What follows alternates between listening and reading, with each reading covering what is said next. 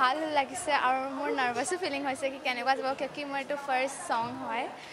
তো আই- মোৰ মই ভাবোঁ কি ভাল হওক যাতে গানটো। আগতে মই গোৱা নাই ক'তো। এনেই মানে এনেই ঘৰত হয় আৰু তেনেকৈ জলচা চলচাত গাওঁ তেনেকৈ আৰু। মোৰ বিৰাট ভাল লাগিছে কিন্তু মোৰ সিমান ভয়ো লাগিছিলে কি ফাৰ্ষ্ট টাইম ষ্টুডিঅ' ষ্টুডিঅ' এটা বহুত বেলেগ এটা হেৰি হয়। তো তাত গাবলৈ মানে বহুত ভয় লাগিছিলে আৰু ভালো লাগিছিল। সুললিতা শইকীয়া যোনে গাইছে তাই মোৰ ভণ্টি তো মই দুহেজাৰ ঊনৈছৰ পৰা জয়টো মিউজিক নামৰ ইউটিউব চেনেলটো আৰম্ভ কৰিছিলোঁ। চ' গান বনাওঁ নিজৰ মতে নিজৰ এটা ঘৰত ষ্টুডিঅ' বনাই সাজি লৈছোঁ তাৰ পৰা বনাওঁ। তো তাই বহুত ধুনীয়া গান গায় সৰুৰে পৰা গান গাই মই চাই আছোঁ কিন্তু তাইক এদিনা ক'লোঁ যে সুধিলে মোক গান বনাব পাৰিব নেকি? তো মই ক'লোঁ বেলেগৰ গান গোৱাতকৈ নিজৰে এটা গান বনাওঁ। তো সেইটোৰ বাবে যিন এটা গান বনাম বুলি ধৰিলোঁ। তাৰপিছত কেনে কি গান বনাম? মাথাত আহি থাকোঁতে পিছদিনা ভাবি থাকোঁতে ভাবিলোঁ আজিকালি ইমান জীৱনত চব মানুহ দৌৰা দৌৰিত আছে। কিন্তু জীৱনৰ যিটো আচল ৰূপ যিটো সেইটো চাবলৈ মানুহে পাহৰি থাকে। লাইফটো এনজয় কৰিব পাহৰে। তো সেইটোৰ ওপৰতে মই ভাবিলোঁ এজনী সৰু ছোৱালীৰ কণ্ঠত এই এই গীতটি বিৰাট ভাল লাগিব।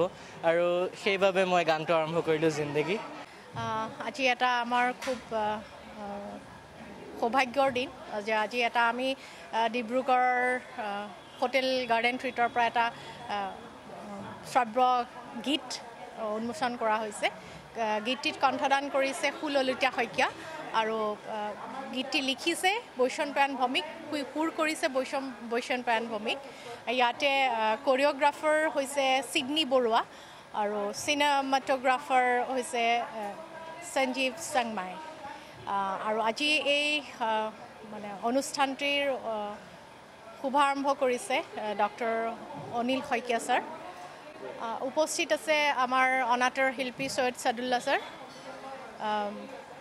ভৱেশ গোস্বামী ডাঙৰীয়া কণ্ঠশিল্পী সুৰেশ হাতীমূৰীয়া অনাটৰ শিল্পী ইন্দ্ৰিয়া বৰঠাকুৰ বাইদেউ আমাৰ অসমৰ এজন আহ, উদাত্ত কণ্ঠ লুৰিণজ্যোতি গগৈ ডাঙৰীয়া তেখেত মোৰ ছোৱালী শিল্পী সুললিতা শইকীয়াৰ এজন প্ৰিয় ব্যক্তি আৰু আমাৰ জ্যেষ্ঠ সাংবাদিক ইকবাল আহমেদ ডাঙৰীয়া উপস্থিত থাকে।